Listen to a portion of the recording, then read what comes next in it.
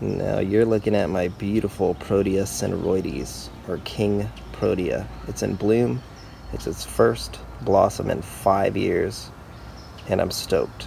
So some people call it a giant Protea, or a honeypot, or a king sugar bush. It has many names.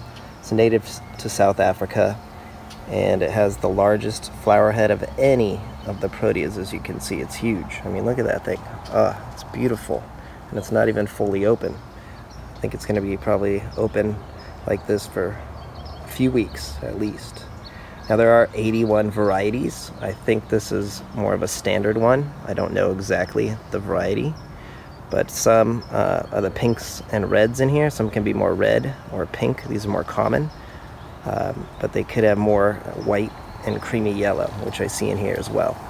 So I don't know if it's rare or not, but it, I don't care. It's stunning.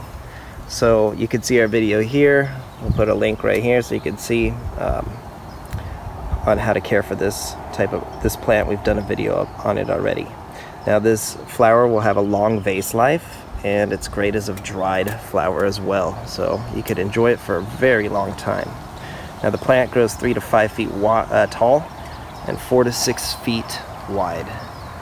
Now um, it's hardy to about 28 degrees and I plant it in part sun in Southern California as you can see.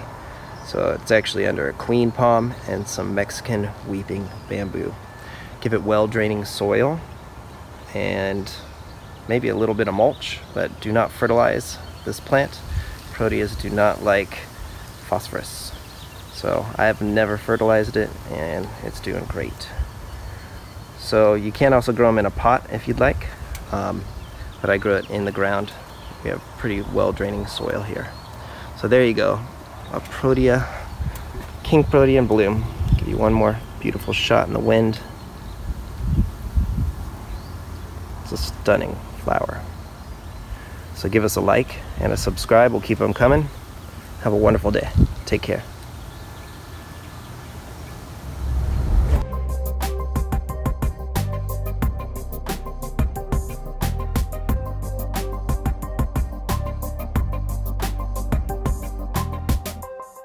Dude, it's creepy.